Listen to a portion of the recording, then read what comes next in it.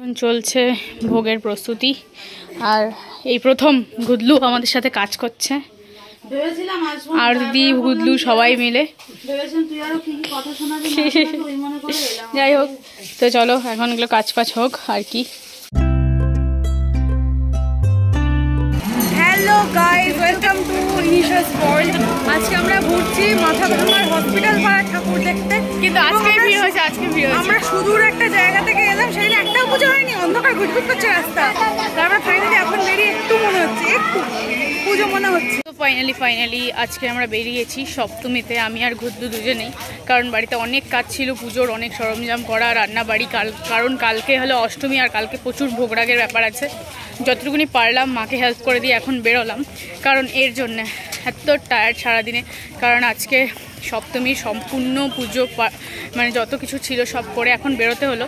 যাই হোক, চলো এখন ঘুরবো আর তোমাদেরকেও ঘুরে দেখাবো। তো চলো, শুরু করা যাক আজকের ভিডিও এখান থেকেই।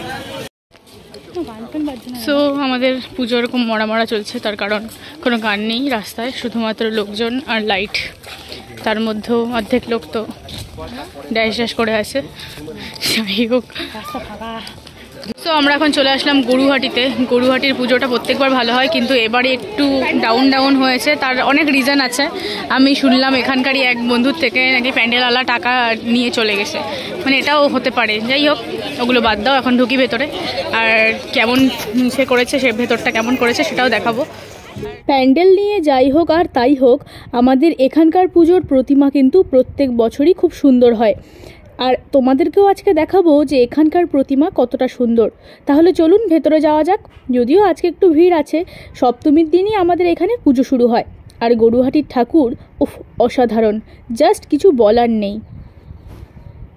চলে আসলাম বাজারের, আমাদের মাথাভাঙা বাজারের মায়ের মণ্ডপে। এই পুজোটা মাথাভাঙা সব থেকে পুরনো পুজো। আর এই বলেই আমি জানি যে সব থেকে পুরনো পুজো এটা।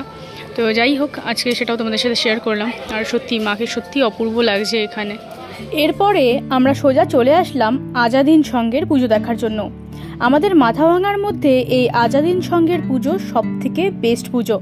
মানে বলতে পারো, প্রত্যেক বছরই এমন এমন ইউনিক ইউনিক কিছু পুজোর আয়োজন হয় এখানে, যেটা সবার থেকে একটু আলাদা।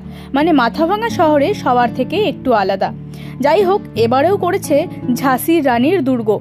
আর তার সাথে এখানকার প্যান্ডেল, প্রতিমা সব কিছুই কিন্তু অসাধারণ হয়। তাহলে তোমাদের সাথেও শেয়ার করি যে এবারে কেমন করেছে। দেখতেই পাচ্ছ, প্যান্ডেলটা কিন্তু খুব সুন্দর করেছে। আর দেখো, যেখানে মাকে বসানো হয়েছে, অর্থাৎ দেবী দুর্গাকে বসানো হয়েছে সেটা কিন্তু একটা যে বনিদি বাড়ির যে দালান বাড়ি থাকে বা ঠাকুর দালান থাকে, সেই রকমভাবেই বসানো হয়েছে। আর সত্যি অসাধারণ লাগছে মায়ের মুখ। যদিও বা অনেকটা দূর থেকেই আমি আপনাদেরকে দেখাতে পারছি। সামনে একটু ভিড়, তার কারণ সামনে হচ্ছে বডি বিল্ডিং কম্পিটিশন। ঠিক এটা আমি বডি বিল্ডিং কি না আমি জানি না, বাট বা ওয়াকিং স্টাইল নিয়ে কেউ কি কিছু জানো? তো একবার কি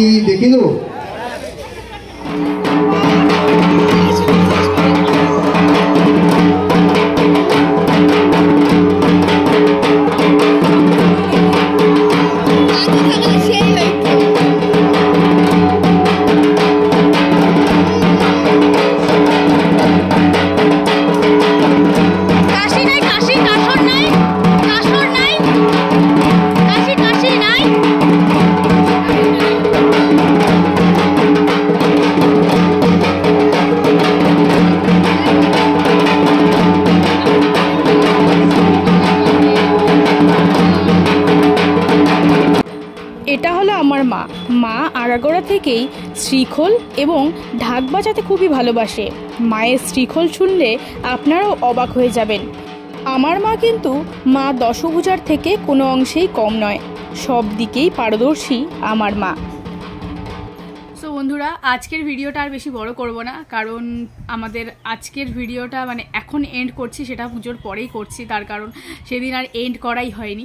যাই হোক, আজকের ভিডিওটা একদম ছোট্ট হয়েছে। যদি ভালো লাগে অবশ্যই আমার চ্যানেলটিকে সাবস্ক্রাইব করে দেবেন, এবং যদি ভালো লাগে অবশ্যই শেয়ার করবেন, এবং আমার চ্যানেলটিকে সাবস্ক্রাইব করে পাশে থাকা বেল আইকনটিও ক্লিক করে দেবেন, এই রকম ধরনের নতুন নতুন ভিডিও দেখার জন্যে। তো আজকের ভিডিওটা আর বড় করছি না এখানে শেষ করছি, দেখা হবে নতুন কোনো ভিডিওতে আজকের মতন টাটা।